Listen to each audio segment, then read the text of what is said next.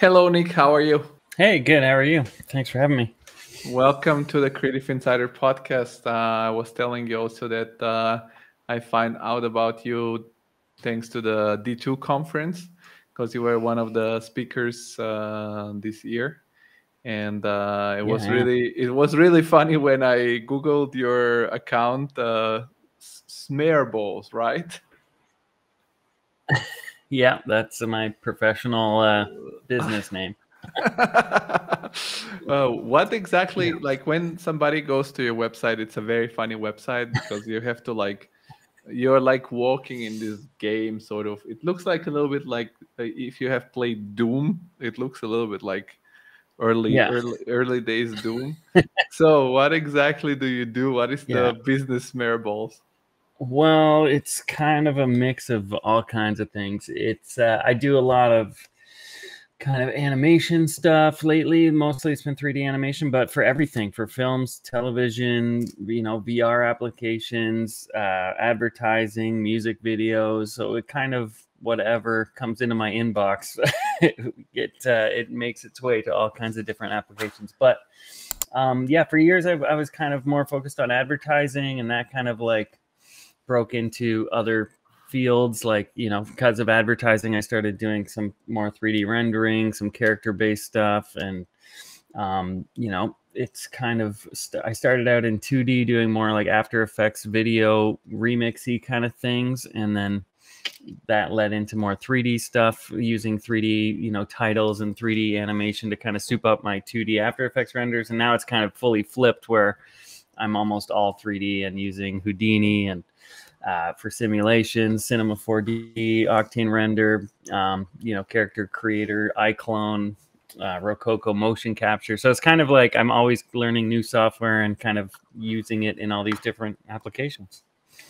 So one thing is that it's not so obvious to um, when you go on the website and to find like sort of a an about page or something similar as you would find in a, uh traditional um, website. Which I don't say it's. Uh, I mean, I, I think it's fine. It's fine and it's fun to have something original like yours. But what is the? Um, I always like to start from the origin how did you what is your background what is your education are you educated as a designer or did you do all by yourself did you learn are you self-taught uh 3d artist animation and yeah, so I'd on say I'm most mostly yeah, mostly self-taught. I uh I went to art school back in like 1999, 2000, like so that was kind of a weird time when they were still like transitioning from from uh you know VHS and beta like videotape editing to computers and we were already kind of like I was at the point where I already had it one of my dad's old computers that could barely do video and some animation but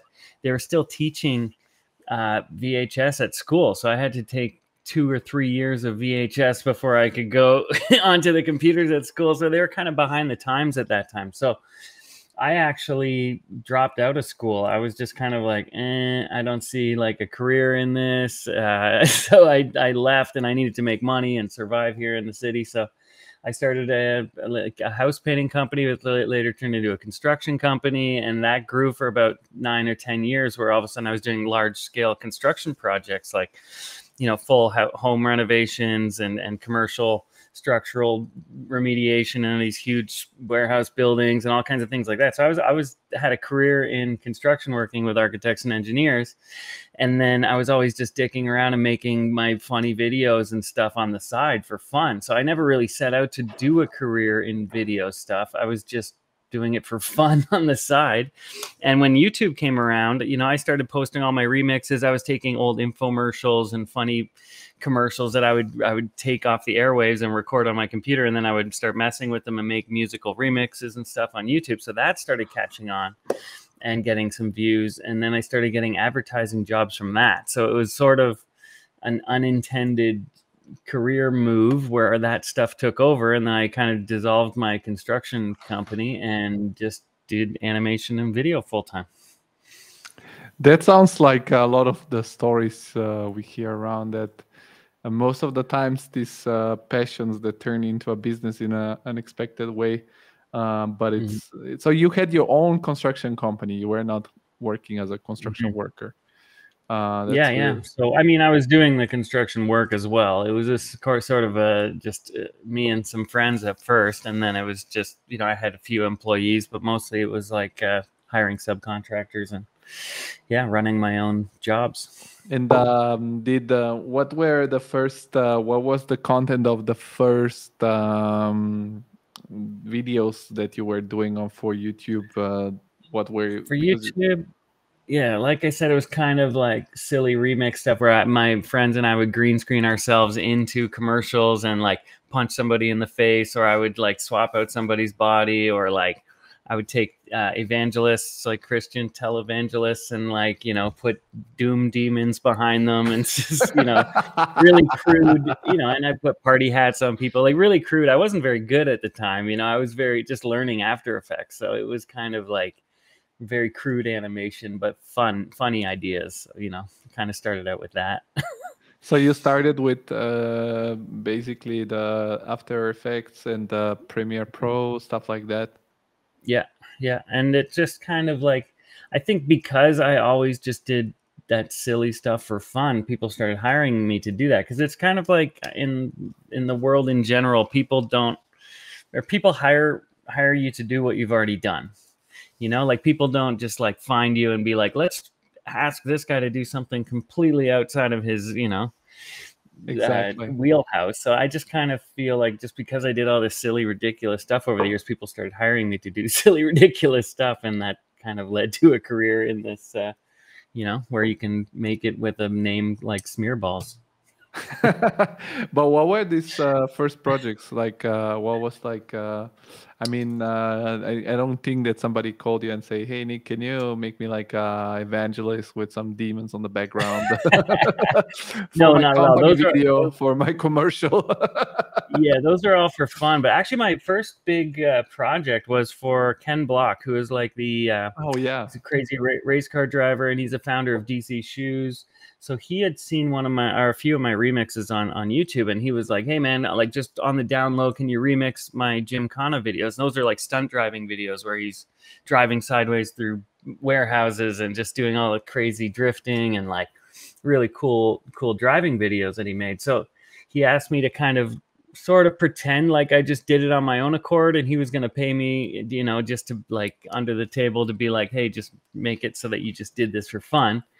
So I'm like, yeah, cool, man. This is like, you know, my first kind of video job. So it's like we went crazy with it. My buddy Davey and I teamed up and we we added pterodactyls attacking his car and just all like just all kinds of crazy stuff. And when we showed it to him and he was like, this is awesome. I want to make it an official DC spot, and they put our names on it. And we did. We he shot a whole bunch of extra video footage for us to mess with, and like it turned into like a proper, you know, DC shoes job. And he sent me like twenty pairs of shoes and all kinds of cool stuff. So it was kind of my first gig in advertising, and hurled me into that world. So it was kind of cool that it came from YouTube and was just, you know, wasn't even supposed to be a job at first.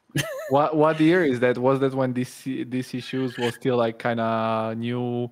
Uh, yeah, that was probably he- I think- 2009, I think, somewhere around Oh. there. So you were like really, really in the early days of YouTube because I think YouTube started 2006 or something like that, and in the Mhm. beginning, Yeah, yeah.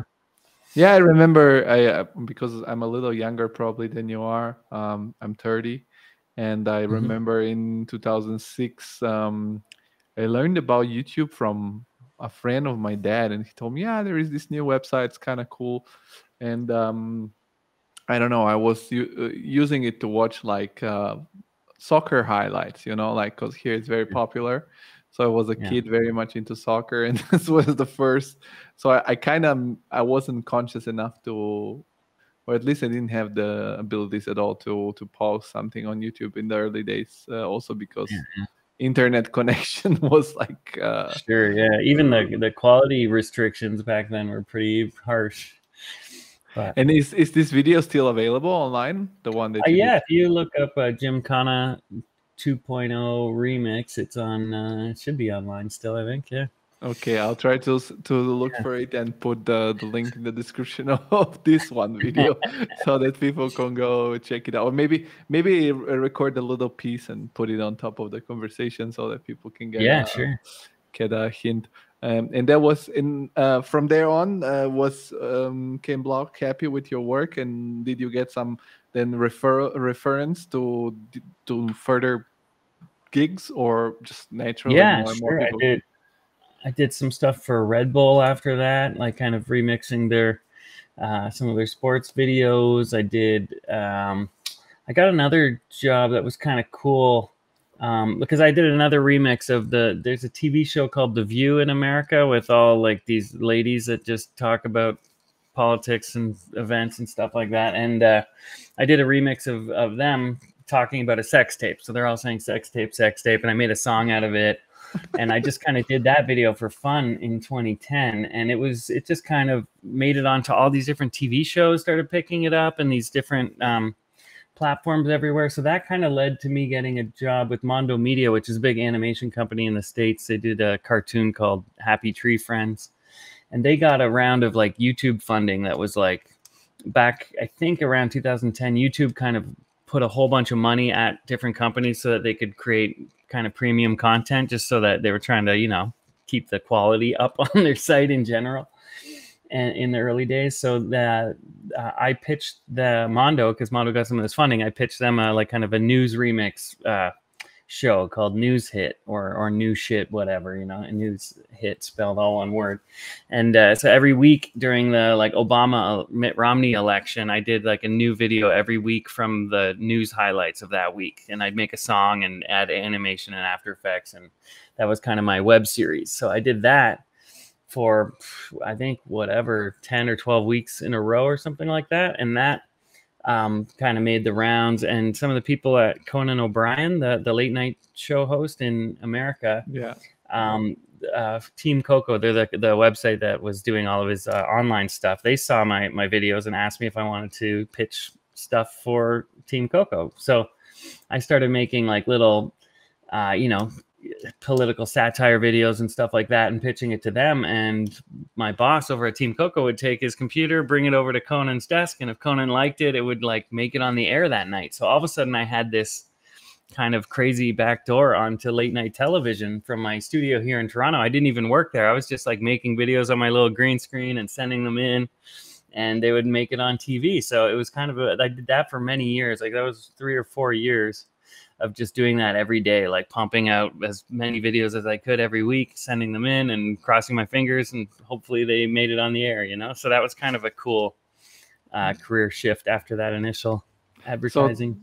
Stuff. Um, how did it work? You were a one man show and then you pitched these videos, and if they liked the videos, they would pay you per video, or did you have some at first yeah for, for the for the first little while it was per video and then after i kind of you know they started to like my stuff. They and then they offered me kind of a salary uh, uh, retainer for the year. So i then every year i would renew my contract with them Okay, it was So- like, uh, but did you have some? Uh, what is it called? Um, did you need to commit to make to make some certain amount of videos, or was it? yeah i kind of i somewhat had a quota i think i forget how it exactly worked but I, every week i made sure that i pitched at least three videos you know what i mean so but also by then i uh, i had a bunch of recurring bits that i did like i used to take two celebrities and and kind of do a deep fake before there were deep fakes like i would take I would scour YouTube and try and find two celebrity interviews where they had similar lighting and they were, you know, similar face motions. And then I would take one face and put it on another and do in After Effects, do all the warping and like, you know, stabilizing to swap these faces. And now, of course, deepfake came around and made that easy as hell to do.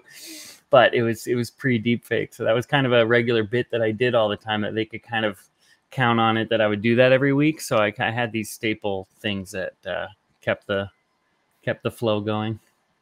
But um, so at what at, at after how long? After how long of these like random gigs that you received and the YouTube uh, stuff um, was it wasn't worth it anymore to do the construction uh, business anymore, or you still do also construction on the side? No, I don't do that stuff anymore. Although I wish I did because I'd probably be in better shape than I am now from sitting at the computer all the time. Uh, but no, I was probably it wasn't just cut and dry. Like all of a sudden, I you know I'm not doing construction anymore. There was a bunch of years where I was like, okay, I didn't get any video jobs for a few months. I better make some money, you know. So it was kind of back and forth, or I'd still pick up a job, or I'd build a cottage up north, or something like that. And so I can't really say. I think maybe my last construction job was 2011. It might have been a two year period of doing both, sort of, you know. So it wasn't like right away big money for these videos. It was more like side hustle. No. Yeah, exactly. Just it, it kind of like running two side hustles instead of one full time job.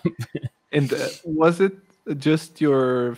Um, you said you started with your father's computer, and then uh, mm-hmm. did art school anyhow also influence you on like um, having this passion for this creative?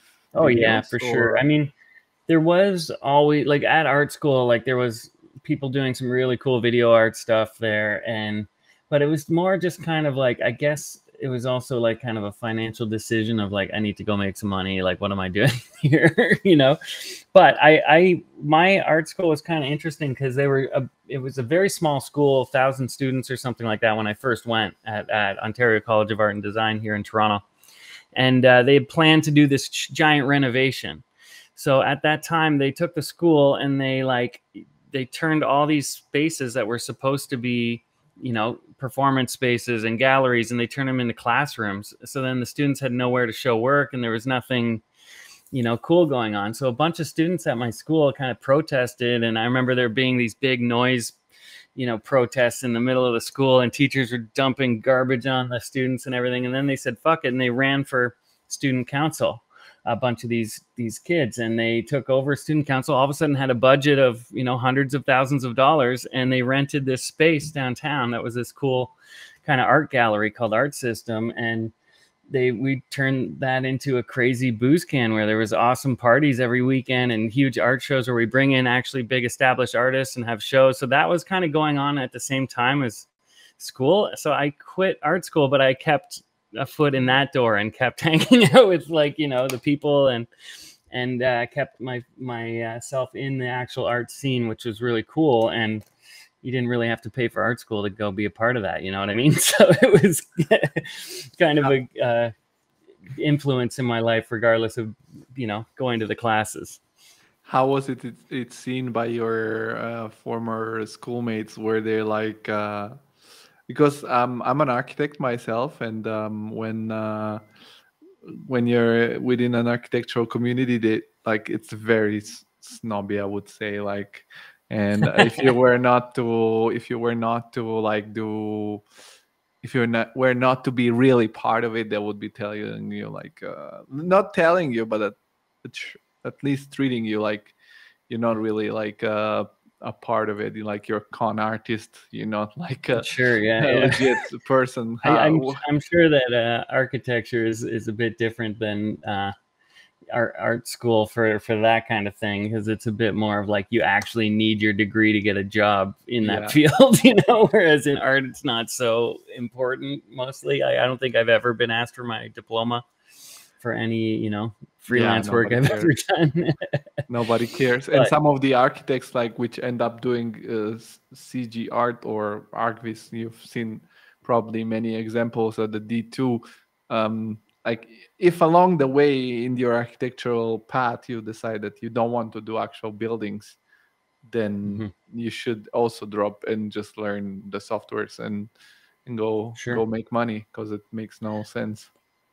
Well, I think that's still kind of the case in a lot of schools where they, you know, a lot of the time, if a teacher has not been in the field for 10 years, the it changes so quickly. The software changes from year to year so quickly. Like it's it's incredible how hard it is to keep up with everything even being you know da- the daily user of all this software let alone yeah teacher. So i find that now all these online schools like School of Motion and stuff like that. They they're using people that are currently you know using all these tools and can teach you way better in a lot of ways. Like I'm not sure with motion graphics and VFX that a university is the best place to get your education at all.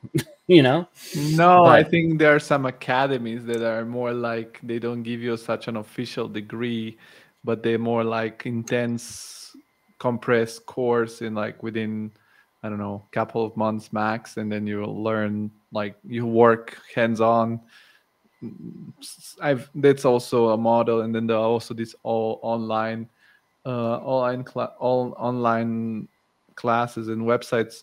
For example my approach is if i need to learn a new software i would go and go to a software like udemy or now there's domestika skillshare. Get one of those 10 yeah. bucks uh, classes that give you the solid base to understand how to move within the software.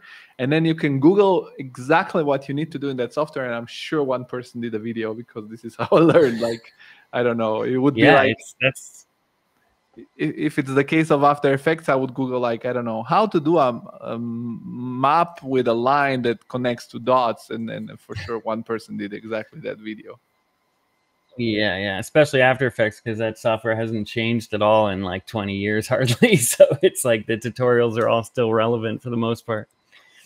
Yeah, uh, yeah, is... no, I think I just I think that it's the way to learn nowadays. And there's so many people that have dedicated their lives to doing tutorials and like especially in like cinema 4D world and stuff like and you know, it's it's amazing how many resources are out there and how many people kind of give the info away for free. It's amazing. Have you done yourself some of those classes somewhere? I made, or?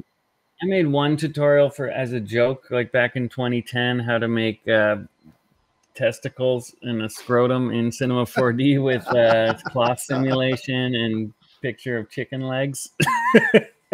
and actually, for a little while, it was the most popular Cinema 4D tutorial in the world. Like in 2010, that was kind of early days of you know tutorials, and that one went kind of viral. I mean, it had hundred thousand views or something. But for a Cinema 4D tutorial, it was pretty huge, you know. And I talked to somebody at Maxon years later, like 10 years later, and he was like, Oh, yeah, that made the rounds at the Maxon offices when you made that. it's like amazing. the people who made the software actually checked out my video. So so you you you started with the the more like um, After Effects stuff, and um, what what softwares did you add along the way? Because you mentioned Cinema 4D, Houdini. I started like... with during the uh, that Ken Block video back in 2009. A friend of mine was kind of trying to teach me Max, so I started in Max, and I it, I struggled with it for like a year, and I was like, I found it really not very intuitive to tell you the truth. I just kept like forgetting and like needed to relearn over and over again, and then I don't know. I tried Cinema 4D and I just stuck. It was just so much easier. I found I found the U, UI to be very easy to pick up, and I just kind of like stuck with that one. I mean, nowadays, if I was starting out as a 3D artist, it's pretty expensive cinema 4d i mean i started back in the days where you could you know easily get cracked software and stuff like that so it's a lot uh, maybe it's still easy these days but i haven't been in that world for a long time but i don't know I, i'm just looking at how quickly blender is moving and like the the tools are pretty amazing. I don't know. I, am kind of interested in in Blender as well. I don't think I would switch over to it right now because I've I'm like you know more than a decade deep in Cinema 4D, but it, I do use Blender for certain things once in a while. You know, converting files and opening up things, and their UV tools are really good. Like like you know I dabble in it a little bit, but uh, yeah, I don't know. Cinema 4D has kind of been my main jam for so long, and I have massive libraries of Cinema 4D Octane materials and objects, and it's that alone is is a deterrent to go into any other software because everything's like one click into my scene. This huge library of everything I've built over the last ten years. So, you know, you get stuck in a in a zone sort of once you've thrown that much time into a piece of software. I'm I'm curious, um, like a lot of people are very interested into software tools me too like because i think it's um, interesting to understand what kind of uh, workflow and people have because in the end of the day it's like a craft so you need to you need to know which tools to learn. And it's like you know it's like uh, really like doing with something with your hands like getting a diff picking up a different tool will help you in a different way. And will develop a different style. Um, but what what um, what is really the secret ingredient? Because I, in the end of the day, from talking to so many people in your industry or similar industries, in the end of the day, almost every everyone can learn the software pretty well.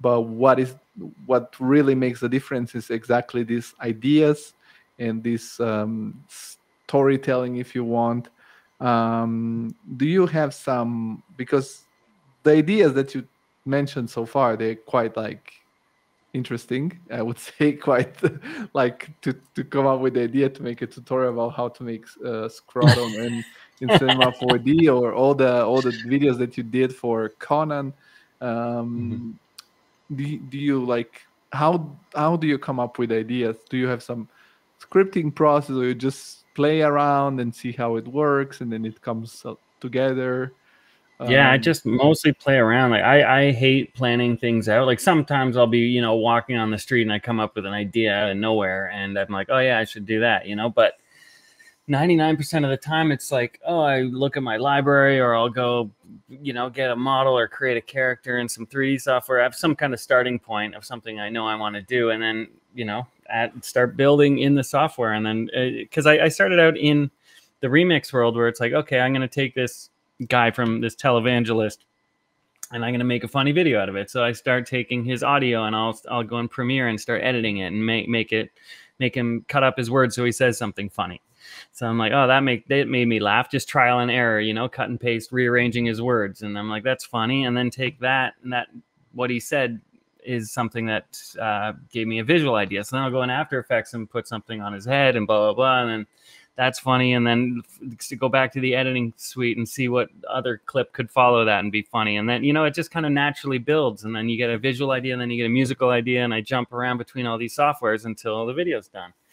So it just kind of naturally happens you know making decisions as you're messing around in the software so that's kind of how I attack the 3D stuff now too. Is like I've got these libraries of stuff, and now I can jump into my mocap suit and act, uh, make puppet the character with my mocap suit, and that might give me another idea of who's going to be watching him, and maybe I'll put a couch next to them and have somebody sit on there doing something else. Like it just kind of starts flowing from as you build the scene, you know. So I, I usually nowadays start with an environment like uh, recent one I did of a construction site because I kind of like wanted to do an animation going back to my construction world. So I kind of started building this, you know, plywood and unfinished construction site and adding the details, all the electrical panels and all the plumbing and stuff like that.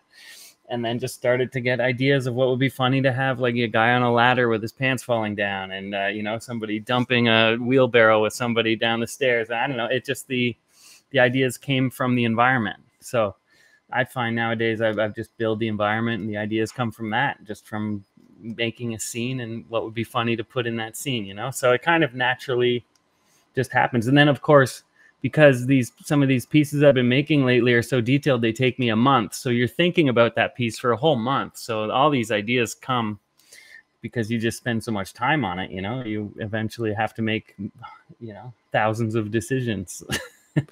and, and, uh, and how was it in the early so how was it in the early days when you were working on construction? Like you were coming back in the evening and just playing around a little bit with it? Or did you have a group of friends that were also passionate about it so that you guys could share ideas? And i don't know this sometimes you know when you're in the environment like they say you become with who you like like with the people with who you are and then this um, it's very helpful if you're like in a, environment that it's made out of people that are passionate about oh, the yeah. same thing like you know well like i, I kind of hung out with a lot of uh, musicians and stuff. So i was in bands and then uh, my one of my old bands from just out of high school we had we bought an old school bus that was like full sized you know big school bus. And we t- turned it into a recreational vehicle like painted it all black and put all these seats in it, or uh, took took out all the seats and put little bedrooms in it, and we toured all around Canada in this old school bus. So in the early YouTube days, it was always um, you know jamming with my friends and making funny videos to promote our shows, or making uh, you know even early MySpace days. It would be like we need to get our get people to the show, so we made a funny video, threw it on MySpace, and spammed everyone's page to you know, get people to come out to our concerts. Or if we were touring into another town, we'd make a video of us in that town doing silly antics. We had like a really loud, you know, horn that had farm animal noises and crazy things uh, on a loudspeaker, so we could like roll up and down the town strip and you know promote our shows. So I I kind of started out just making videos for my friends' bands and and bands that I was managing and stuff like that. So that was kind of my, you know, group of peers that we were focusing our energy on on making visuals was was surrounded by you know music stuff. So yeah. So construction was just the fuel for your real passion. Was yeah. like just well that that was like because I was doing the band stuff while I was running the construction outfit. So I would go, you know, on the weekend, I would, you know, stop my construction job on Friday night and we would get into the school bus and go all weekend, who knows where in Ontario, and then come back Sunday and then I go back to work again on Monday. So it was literally like weekend warrior, you know, having Mhm. fun touring around and, and making videos like, you know, in the evenings when I got back from that stuff too. So I look Ah, back at that. I'm in my 30s. I'm like, how did I even have time for all that shit? You know what I mean? Like, it's, uh, but it's I, when you got that energy and you can do it, it's uh, a lot of fun. Yeah, yeah, yeah, sure. No, it's cool that you managed to keep it like um like a passion and you never stopped and then somehow naturally and organically come together and um and then, then you managed to turn it into something profitable. And and how do you feel about um how did you feel about when you got your like first um when it got more like legit like you were constantly getting this interesting project which i mean being aired on one of the biggest late night shows it's like a big Mhm. deal. So did you always manage to keep your like playful spirit and be like oh i'm just gonna keep doing this for fun and Yeah, I mean, it was always kind of, especially with the late night stuff, they were always just my ideas and stuff that I could do, you know, uh, whatever I wanted, and I would pitch it, and it would just, you know, they could take it or leave it, kind of. So that was super fun and easy to keep fun. But it was also a pretty big trip to be like, whoa, like I just recorded some crap off the TV, and then I made something out of it, and I uploaded it, and now it's on that same TV. You know, it was a real trip to like you see it my work on on that big public stage you know it was cool but um i think the most like kind of like disheartening jobs are the ones where you do something and it just gets changed over and over and over again for no good reason. Like advertising's pretty bad for that where you do a project and there's like 20 people that tell you to change it for sometimes no reason and it that can be pretty disheartening where it's like you know it's not fun anymore. So sometimes those jobs i find more you know like disheartening or make you not want to do it than than like you know something like not getting a cool job you know? Like if, if i have a job that's not very high profile but i can do whatever i want and it's still fun like it's you know that's more fun than doing a high profile gig that's a huge pain in the ass. So yeah it's kind of like there's both sides of the coin on both sides of the you know spectrum. And um, is it like nowadays, especially in these years, has uh, developed this like sort of cancel culture, and um, there is a certain things that you shouldn't say or you shouldn't say even for fun. Um, has this sort of damage also your uh, like your your kind of style that you have in your because it's like your style seems to me like to be very politically unco- incorrect to be like um making fun of things that are also sometimes exaggerated or a little bit scurrile let's co- say that way. Um Yeah. do you need to moderate yourself or self-censor sometimes? Because it also like i don't know Um, platforms don't- like youtube might also not cancel you but like strike you Yeah, I've had quite a few. I, I mean, I don't really feel like I need to censor myself. I most of the stuff I'm doing is just absurd and ridiculous, and there's not really, I don't think, a malicious intent or anything that's like, you know, rocking any boats, like as far as like racial discrimination or uh, anything that I think is like cancelable. Really, I'm not. re- I don't really tread on those waters for the most part. I'm just making mostly just really stupid, ridiculous things. But most of my uh, stuff that I got uh, deleted on like Instagram and TikTok and stuff like that is uh, was when I was making funny Trump videos. I had 3D models of Trump like crapping his pants or whatever, but his fans, I guess, just don't have a good sense of humor about stuff, and I would get uh, you know those videos would get flagged or deleted, and and you know then I started getting like a risk to my account that if I had too many strikes against it, my account could get deleted. So I'm like, oh, I guess I got to stop making these Trump videos, which is unfortunate because I've also I made videos of Obama and Joe Biden and all kinds of other uh, Hillary Clinton. I made there's no real hardcore political bias. I mean, I think you know Trump was a definite easy target and more fun to make fun of for sure, but I've you know done all sides of the political spectrum. So it's not, you know, I don't really feel like it was a big risk for me to do Trump, but it was, uh, yeah, definitely led to a whole bunch of videos getting taken down, unfortunately. but most of the stuff, like the riskiest stuff I do that could get canceled or taken down is there's like borderline nudity and weird, gross things that people might not like. So I kind of uh, get some of those things taken down once in a while too. But as far as like actual cancel culture stuff, I don't feel any threat. I don't really uh, push people's buttons in that way. I'm not that's I'm not trying to provoke in that way. I'm mostly trying to entertain, so I don't feel like it's a risk.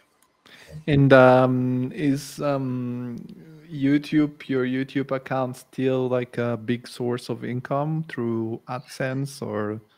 Um... No, it was never. Uh, it was never income for me. I because I was doing a lot of remix materials. I did a big uh, project called The Chickening, where I took the Stanley Kubrick's uh, The Shining and we turned it into this, uh, you know, the the Overlook Hotel in that film. We turned it into a, a chicken themed restaurant resort that uh, Jack Nicholson was going to. It was kind of like a film project that I did as a pitch uh, for a new TV show where we could take all these old films and turn them into something new by adding visual effects. So it was this like sort of pitch piece, but it, it gained a kind of a weird uh, traction in the film festival circuit. And all of a sudden, this film got into Sundance and Toronto International Film Festival, and over a hundred other film festivals took this little thing called the Chickenings and ran with it. So I kind of have always been doing this remixy stuff where I'm using other people's content to make something new.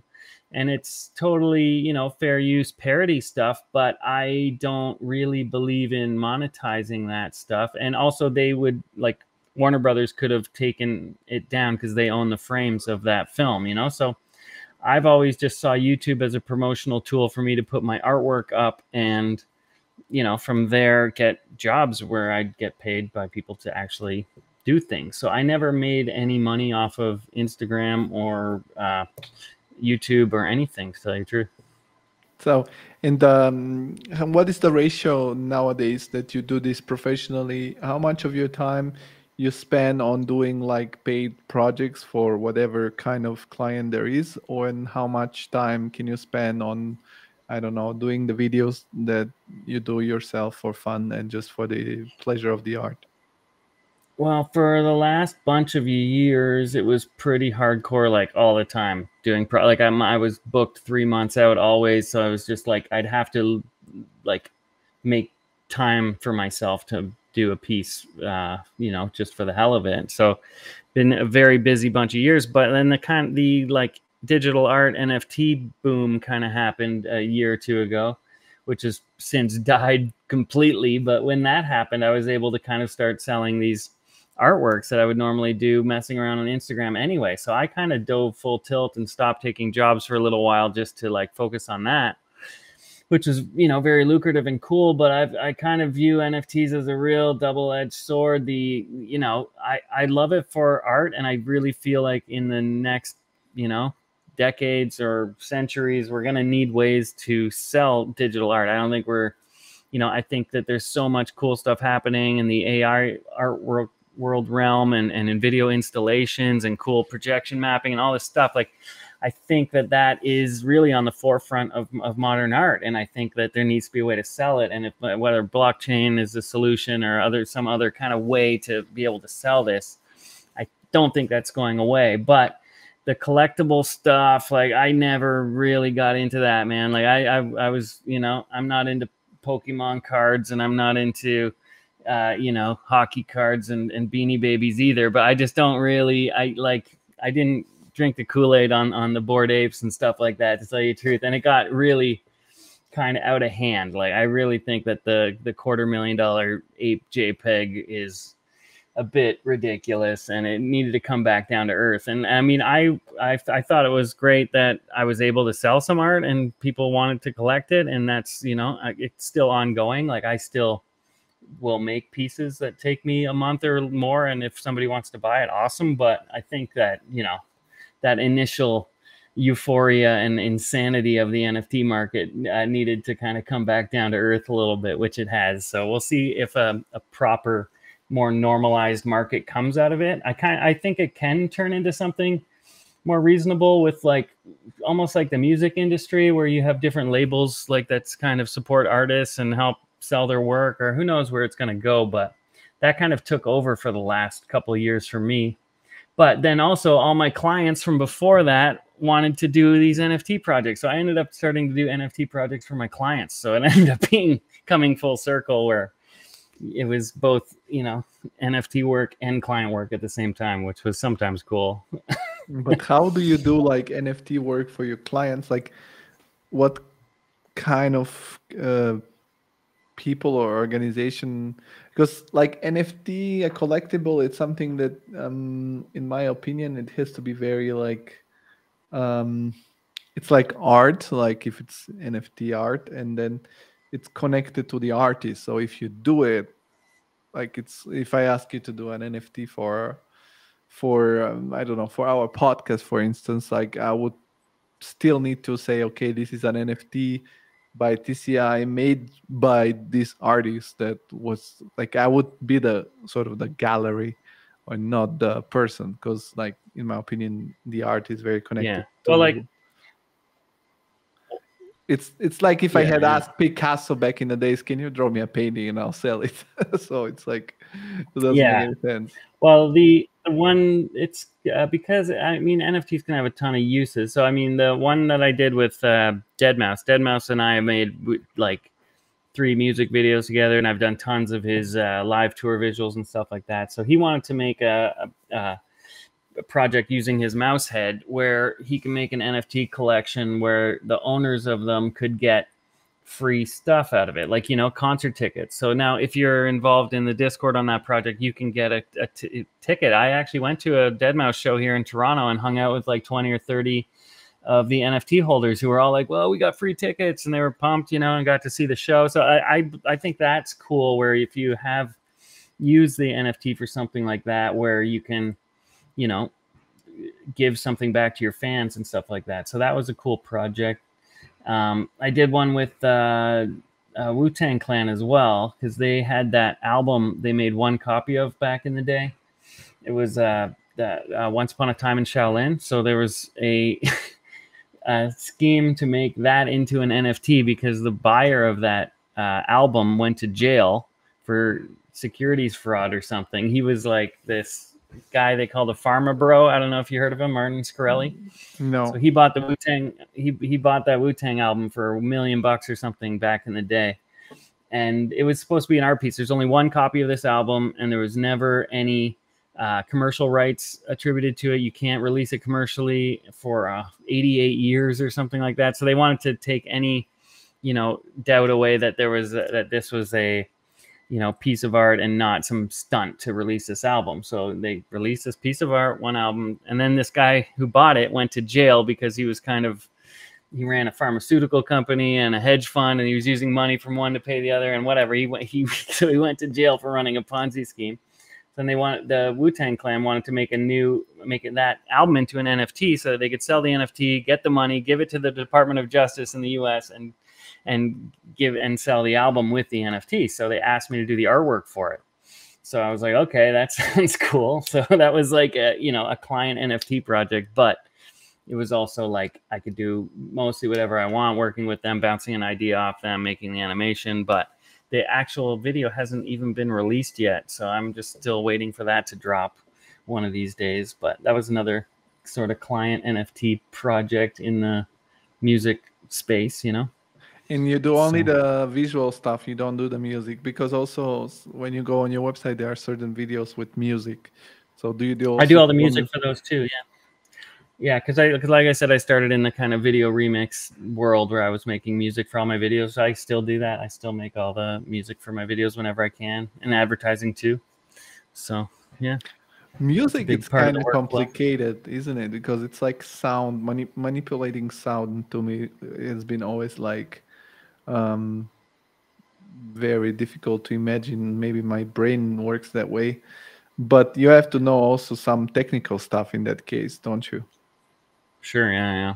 Like I find it the fun part. Like after doing like if I do work on a video for like a month where I'm doing all this grueling animation and keyframing, then I'm like, oh great, I got I'm gonna set aside a few days at the end just to make the music for it. And that's kind of the fun part for me where it's like easy and I don't know, I just have fun scoring my own pieces after they're made. But a lot of the time it's it's in the process because all my animation is timed to a tempo. So I usually start out with a tempo track and make a beat that I edit to and animate to, and then you know jump back into the music periodically. So it's kind of a lot of the time gets done in tandem with the video project. So because you want those to have a really strong link, or I do anyway.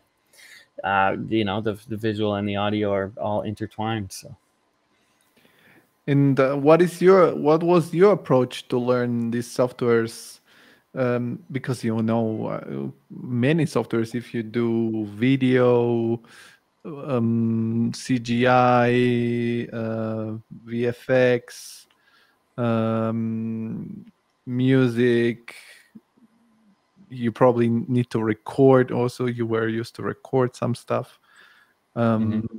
Like that's a lot of stuff to learn like in order to master and it's expensive and... to buy all this shit yeah, yeah. It adds up every year now with subscription services. It's out of control.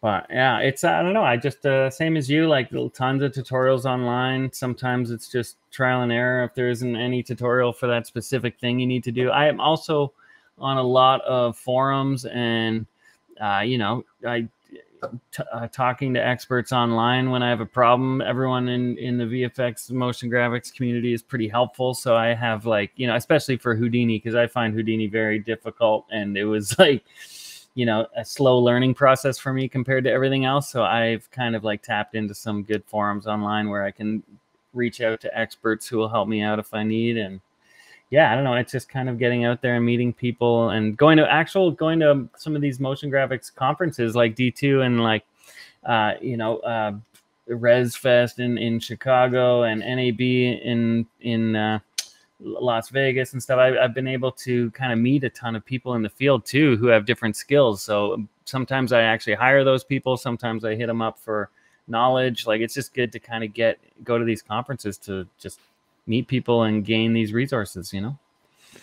And the yeah but what i'm asking is like um i'm approaching for example i started the podcast like now almost yeah, more than two years ago in 2020 and i had zero skills about um, audio or how to record it exactly. And just i loved listening to podcasts and i one of the podcasts i liked stop being produced. So I was like, okay, then I'm gonna do my own podcast and and the let's do it. And then I started from zero, and then I learned a little bit uh, about how to record the sound. Then after a while, I, re- I learned how to make it a little bit better. Then I bought a little bit better gear, and then at some point I decided, okay, I want to make it video too because it seems like if it's not video, it's not that popular. And um, and learning these different things needs certain like if you and i also have a full-time job because i still have to pay the bills too. And uh, sure. learning one new skill it requires um because you have these i can imagine that you have m- many ideas. Like i have many ideas. Like i have ideas for graphic design. I have ideas for uh, video. I have ideas for videos that need a little bit of animation but if you don't focus on on one thing because when you're when you're newbie in a certain software you need consistent work with that software in order for you to become very familiar with i don't know shortcuts and way of working sure. and finding your workflow So I'm wondering, can you did you stay consistent at for on one thing at the time, or yeah, how did you? Because you need a certain momentum, in my opinion, in order to move on the next thing. So you need to learn, I don't yeah. know, Premiere Pro, and Yeah, then I you can think- After Effects, or vice versa, but whatever. yeah i guess like you know for many many years it was just after effects and premiere and then cinema 4d kind of started slowly jumping in and then you know as when octane came around too and being able to render fast i don't know i just sort of gravitated more and more into these things but nowadays it's like when i need to learn something new like houdini was really cool for soft body stuff and particle simulations and water simulations stuff like that so i wanted to add that into my scenes and then Houdini was one of those things. It's like, yeah, I used it once, go back, and then next time I went there, I was like, ah, I forgot everything, you know. And like, yeah, you have to just keep plowing at it, keep trying and using it, and finding reasons to use it over and over again to learn it. So it really nothing, nothing beats just putting in the hours. Like that's really what it comes down to every time. So I think that like if I'm going to spend time on a software like ZBrush, ZBrush is really awesome. I use it all the time for adding details and textures and, and stuff to things, but I'm not a good sculptor. It's like to sculpt someone from scratch and get their likeness is a very difficult skill that takes thousands of hours to like, you know, learn. So I know that I'm not going to be that guy. I don't really desire to spend that time to learn ZBrush for that skill, but I, I need to know ZBrush for uh, topology correction, for you know um, doing all kinds of like mesh fixing and like and other sculpting reasons. You know, like so it's very. You know, I knew I had to learn it, so I learned these very specific things that I do in ZBrush, and that's what like what I use it for. But I don't really have a desire to go much further into like becoming a sculptor, you know what I mean? So I think it's it's about realizing what you need the software for and becoming good at and familiar at those those specific things and branching out from there, you know, because now that I have this base knowledge of ZBrush, I can jump in there if I need to do some sculpting and mess around and, and work on getting a little better at that stuff. But it's kind of uh, yeah i mostly i learn new software because i have a problem i need to solve and that software is going to solve that problem so i need to learn how to do that and that's how the knowledge grows. I never just go oh i'm going to like start using substance painter for fun and learn it you know? It's like no i need to get a paint job on this car right now and it's like yeah it's out of necessity not you know for fun. It's not recreation but you still then when you need to do one little thing you learn that one little thing and you don't know the software like if for instance if you like learn to do one thing in um one thing in in after effects you don't know after effects you just know how to do that one thing um Yeah. that's why i start with this for example more solid base solid classes that are still very cheap but they can teach you some overview of the software so that you have a little bit more of you know consciousness and awareness of what you're doing when you're in the software. And then i don't know if you need to do specifically one thing then you can watch a video and then you say ah this is Yeah. another thing that the software can do and i can use these tools um so oh, yeah. well it's about getting inspired you know like once you learn one thing in a software like and how it works then you're it's in your mind now and it's like oh i could do that in that software and it's not this hurdle anymore you know what i mean like learning having the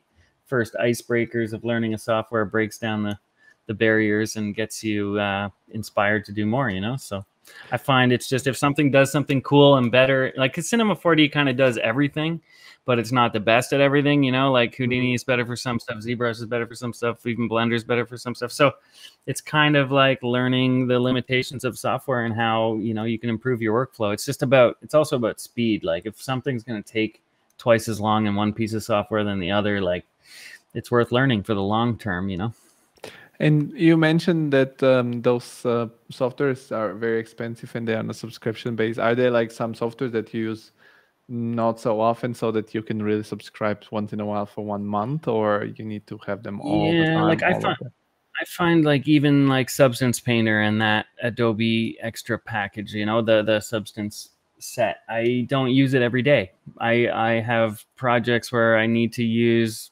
Substance Painter for like a couple days and I don't need it. So I, I do that like month to month when I need it. certain plugins are the same way. But like, I mean, I I'm full time all year round Adobe subscriber, Maxon subscriber, Octane. I have like seven render nodes here for Octane, so I'm like full blast into that uh, render world. Um, Houdini is fairly cheap actually compared to most. Like you can get an indie license for a couple hundred bucks for a year, so that one's actually quite reasonable compared to a lot of the other platforms. But but yeah, I mean, I mostly pay for you know all of all the stuff I use constantly. There's not too much stuff that I can even do that. Like it's almost not cost effective for a lot of software to do it hmm. by the month. But the the um, the um, what is it called? The Indies license in Autodesk. It's uh, Houdini is Autodesk, right? Uh, no, Houdini is SideFX SideFX. So what is the indie indie license like? What is the requirement in order to get the indie license at, at that? I think it's about your uh, income. Like if you're making um, uh, X amount, a hundred thousand dollars or more, or something off of that software, then you need to buy a uh, professional license or something like that. But it's fully functional, I believe, the Houdini Indie license. But do you need to provide them with your like I don't know tax return thing or?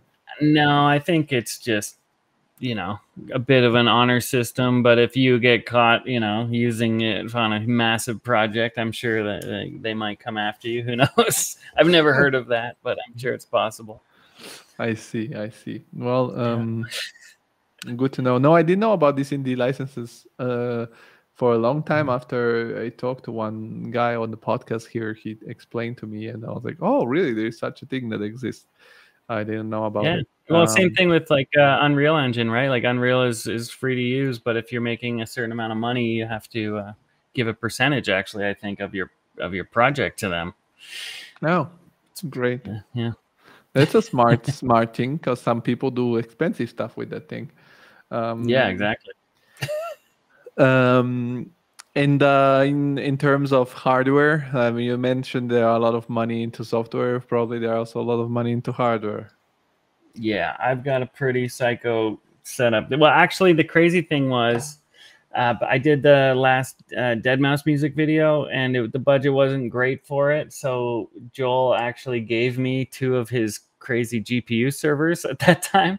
So, because I needed them to render the project. So then after it was done, I was like, hey, man, I'll bring these back to you. And he's like, yeah, whatever, you can keep them. So he like let me have these two awesome GPU servers. So they had kind of older Quadro cards in them, but they're still good, you know, but they're, you know, now the 30 80s and whatnot are so much more uh, CUDA cores for Octane rendering that they're way faster. So I've been going on uh, like local buy and sell sites and finding all these crypto miners who are selling their machines for nothing right now. Like I bought just last week, I bought seven 3070 Ti blower cards on a big mining rig uh, off this guy for two thousand dollars, which like six months ago would have been ten thousand or more. You know, like it was crazy. So I've I've been scooping up all this used uh, GPUs and putting them in in my machines. So now I, I think I have six or seven boxes here, all networked with uh, 10 gigabit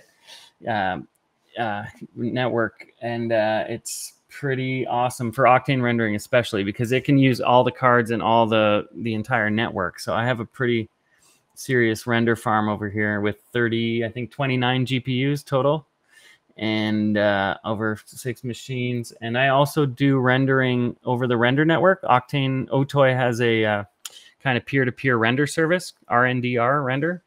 So I run all of my machines as nodes on that, so I can make money rendering other people's projects here as well. So it's kind of that's where most of my hardware goes is to keeping these machines up and running the nodes. Do you have also the skills of building the machines and putting them together, or you have a person that yeah. with it? Yeah, I had to. I actually just drove to Detroit uh, two days ago because my friend had two uh, X99 motherboards that could take four GPUs each. So he like sold them to me for 500 bucks with CPUs in them. So I, I was like, that's a deal and a half, man. So I drove the three hours and grabbed those off of him, brought them back, and then started putting all these old mining GPUs in them. So my, if you could see my the other side of my table now, it's just this heap of gear that I've been putting together. But yeah, I just built two computers this week. Do you use this stuff also to mine like um, crypto or? I really? did a little bit before, but I, I didn't want to uh, uh, burn out my cards on crypto mining because I need them for rendering. So I found mm. That like I did it here and there, just you know, especially in the winter if I could use the heat. but uh, but when when the render network went live and I, I got invited to participate in that, it's actually more money you can make rendering than you could make mining, and it uh, it only burns your it doesn't burn your machines as hot, and it's uh, periodic. Like it comes in, you know, a job will come in, then it'll sit idle for an hour, and then another job will come in. You know what I mean? So it's not running your machines hot twenty four seven. So it's uh, kind of better. Yeah, I understand. No, it's um I can imagine. But also like t- this adds another like skill that you have to learn. Like also you have to learn about computers or you knew already a little bit uh, because I don't know, you started really young or or you Yeah, I was kind of messing around messing around for many years building computers, so because messing around with these things is expensive you know like i always well it's like, more out of necessity it's like uh, you know having for early on having my dad's old computers and then something would break on it and having to figure it out because you know you can't afford to get a new one so you have to try and fix it I, I remember doing that also when I was uh, younger and a teenager. And at some point, I got lazy and I was like, I'm gonna go with the yeah. standard stuff because it's just uh, you know like you have to also check always the compatibility of the different pieces oh. yeah and um, but that's mostly most of that i will steal that information online from someone who has built a successful machine or i go i call uh, computer companies to get quotes on uh, building me a machine, and then they give you a parts list and the price, and then you just buy all the parts and build it yourself.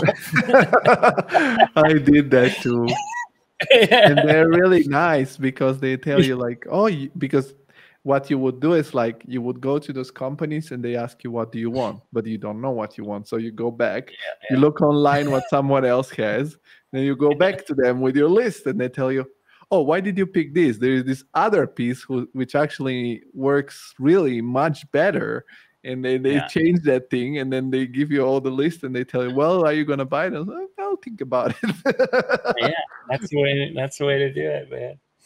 But no. uh, yeah i mean don't obviously it sucks to uh, waste somebody's time with something like that. But it's there's bigger companies that list all their parts online too like the the companies that make big uh, systems for you know larger companies and stuff. So the information's online if you want a parts list but yeah, yeah, no. Do you have like some websites that you suggest for those stuff?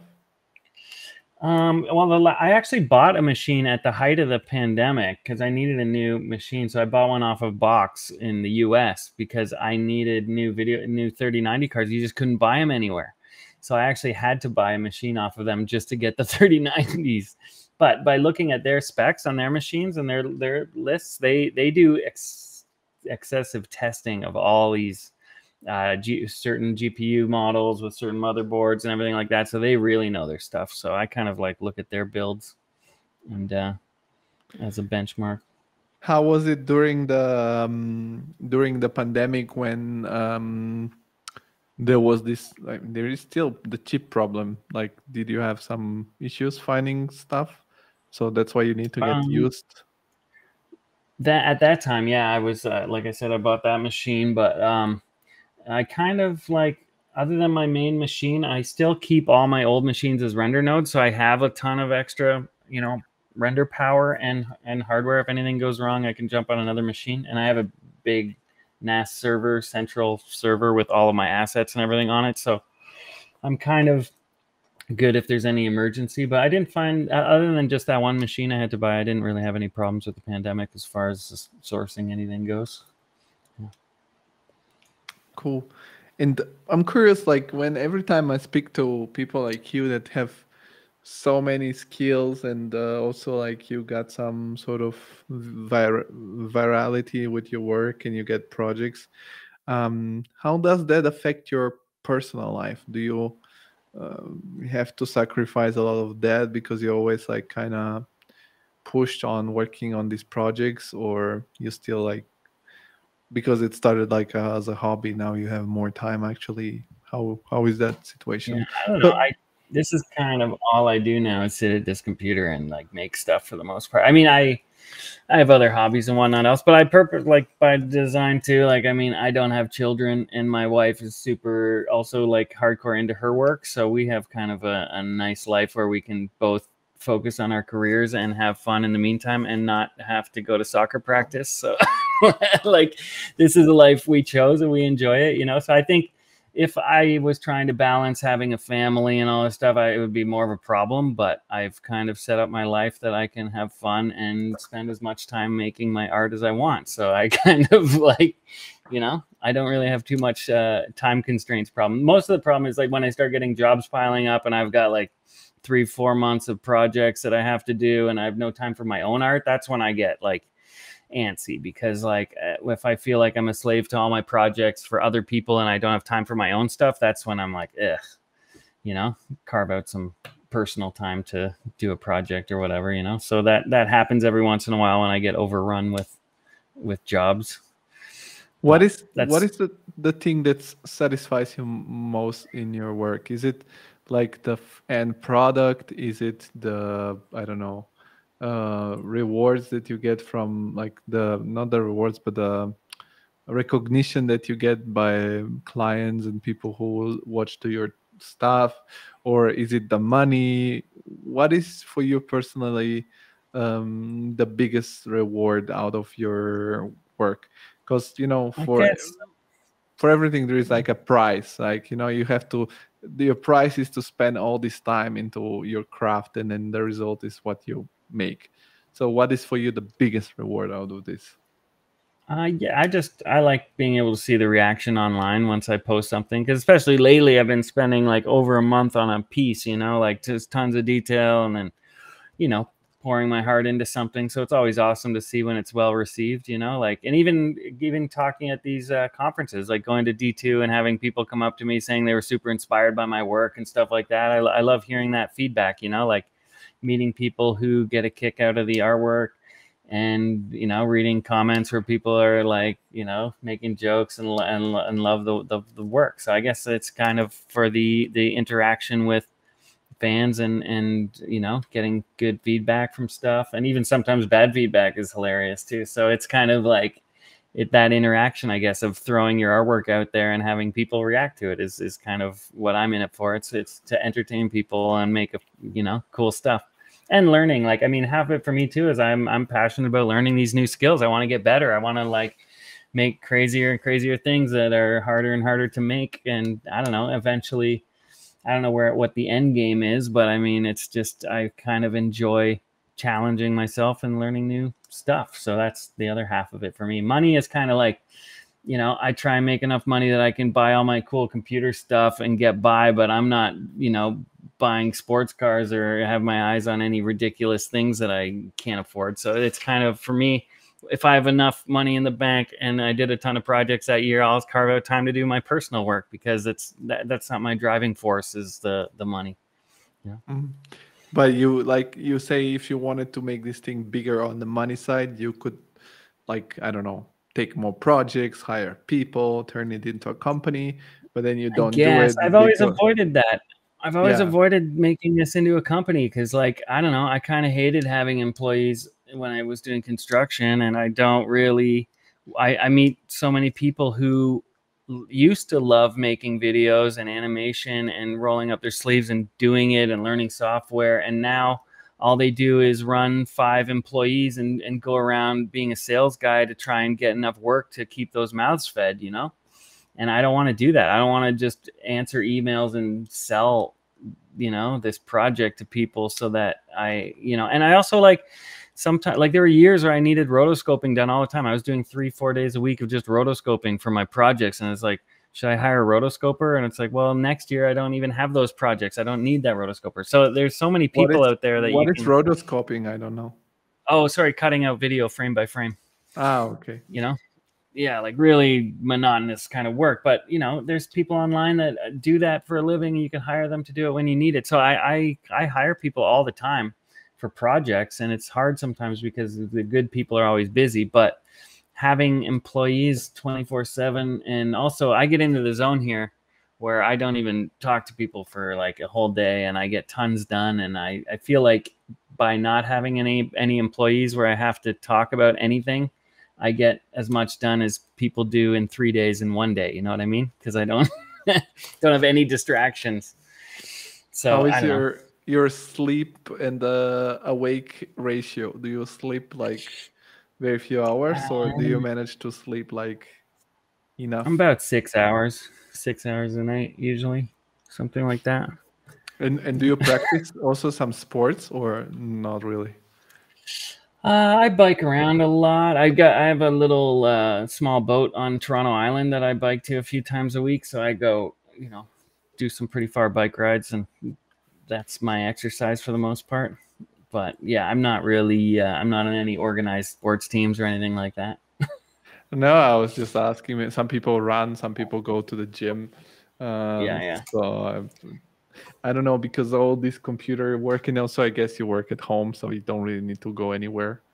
Um, Yeah, well, I lived I lived down the street. This is just my workspace here. I've got Oh, uh, okay. You have an extra workspace. my my servers are so loud. I probably couldn't sleep here.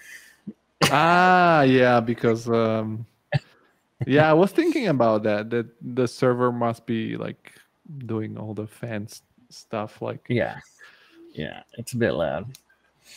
and um you are like very very um how do you say i, I don't want to say famous but like yeah let's say famous within the internet space and uh, a lot of people are connected with you does those people ask you often for collaborations or do they connect with you because i saw like i don't know probably you, you know people and people like this or at least they also follow you on instagram or other social media i don't know so Yeah. is that something um, uh, very common to get like a lot of um, um, a lot of connections with with with those people to work together or Yeah, yeah. I did a project with uh, Beeple and Madonna last year. It was also an NFT project, and uh, I, I helped Beeple out on his uh, one of his physical pieces. I, I, don't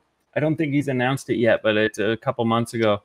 I helped him with a project. Uh, He did one um, called Human One a while ago. It's like a kind of a cube or a rectangle with like four video screens on it that rotates around, and then it's like there's animation that looks like it's inside of the box because it's all timed with the motor of the of the piece.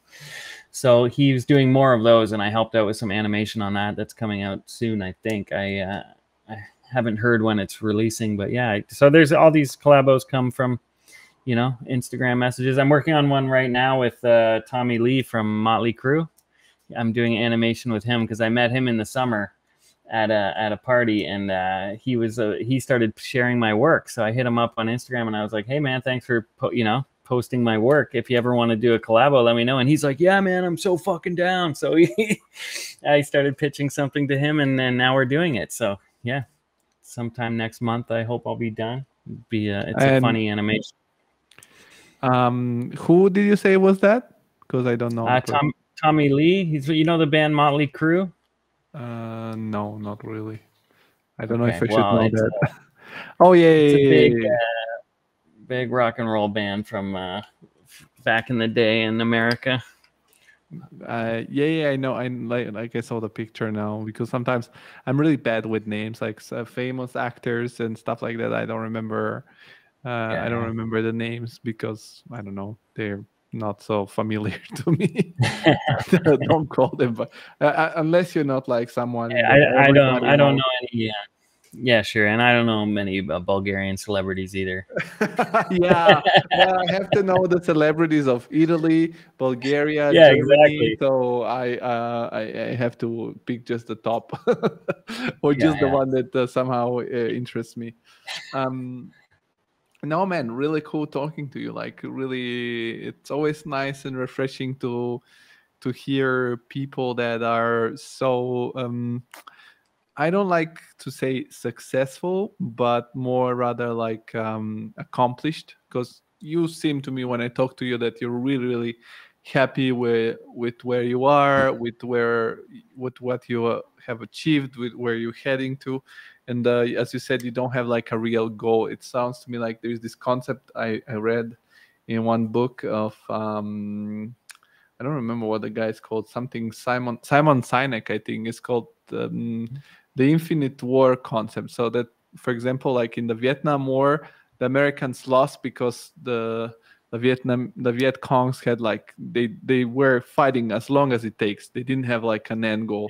And like this could be a very successful approach to stuff that you really love. Like you love what you do and you don't have like you're not hurrying or anxious to get to somewhere. You're just going with yeah. the flow and doing your thing. And it's so so um so cool to to see that people yeah, are thanks managing to do that and stay like very down to earth. You were very like also friendly when i approached you and uh, directly accept the invitation. Some people like uh, when they see that i'm not the biggest podcast on earth they say yeah i don't know oh, maybe. No. um, which is okay yeah, like, which is okay. I'm, I'm okay with that. Like the, the the the thing that i really hate is when people tell me i'm gonna do it and they never like they never do it. They never reply oh, again. Oh, no. Well, I almost I almost forgot. no, but I was like, um, in your case, it was okay because a few days ago you contacted me and said like, uh, "What is this thing what that we're doing?" and I. No, but honestly, I had, my calendar, my calendar this month was like so many things, and I'm just like, I was like, "What the what the fuck was that one, man?" Like, I just had too many things in my calendar. I totally slipped up, but it was also we booked this like what a couple months ago yeah yeah, yeah, yeah. but you know like everybody's different some people are like um also like some people i invite them and they book the next day and i'm like god damn like i didn't expect oh, no. that um but also some people book like three months in uh, in advance and um because everybody that comes here to the podcast the people that listening don't know they can decide when to do the podcast uh, because yeah, yeah. otherwise i would go crazy texting with everyone when exactly to do it um, but no i'm like it's like there is this common thing that people are like really um, passionate about their craft and they don't do it like for for the money or for the glory and also like this being passionate makes you get better and better um, and I, yeah, sure. I hope like listening to your journey it's always inter- interesting for other people that might think oh i cannot do it because there is this and this and this reason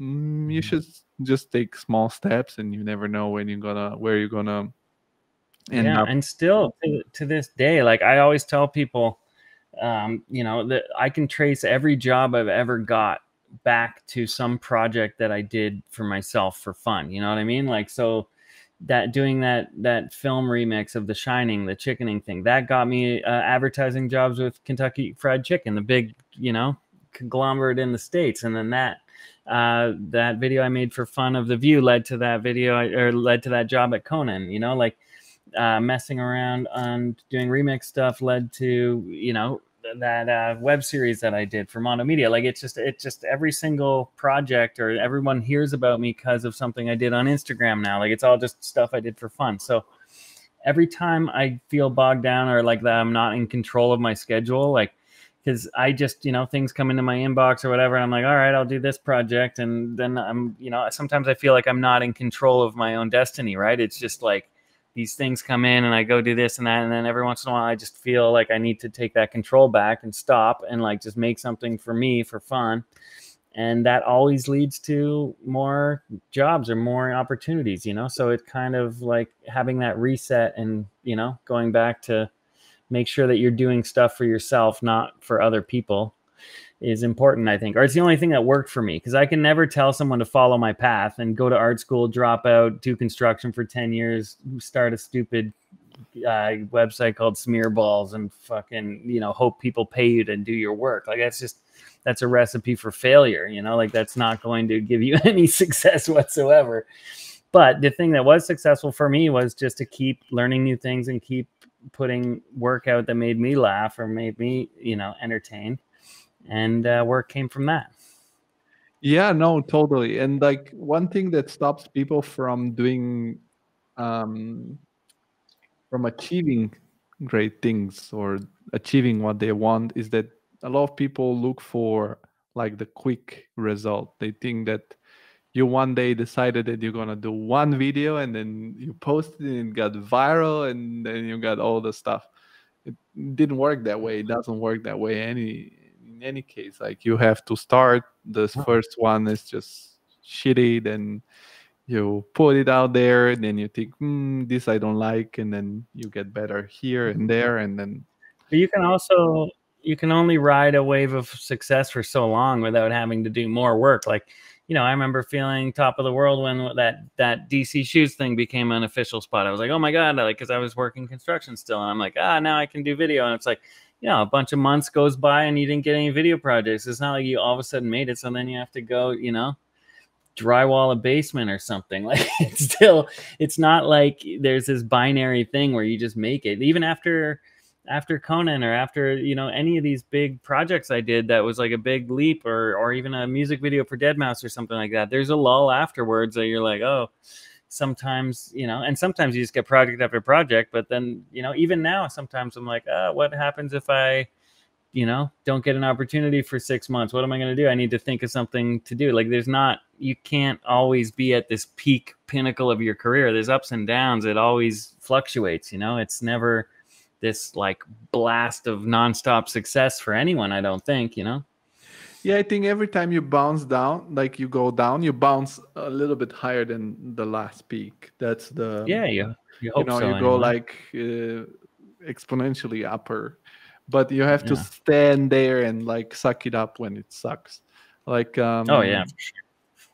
Uh, for, for me personally, I'm I haven't like um I don't know. I don't feel that I have done something uh, out out like extraordinary, but like just keep showing up and doing these podcasts with different people.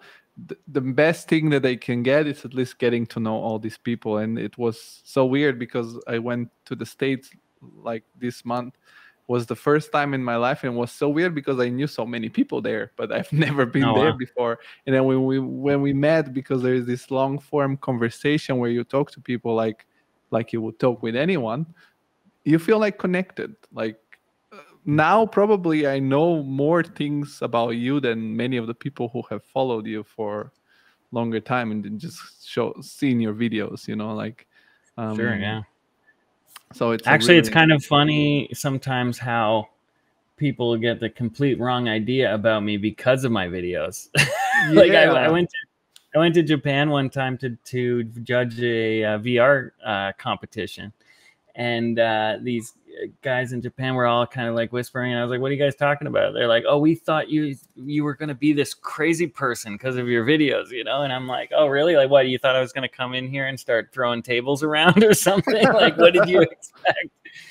but I don't know what people expect. I mean, I make some pretty strange videos. So if people think that's a reflection of who I am, I guess as a person, um, they might expect some pretty weird things. But uh, these guys in Japan, at least, were pleasantly surprised that I wasn't a, a raging lunatic. So. no, for example, for me, it was really funny because I discovered also like Beeple through the um, D2 conference because in 2017 he was there and I saw the video online. And to me was so funny that he looks like Bill Gates, but like like curse every second word. That I was yeah. I was thinking that kind of contrast is really uh really funny.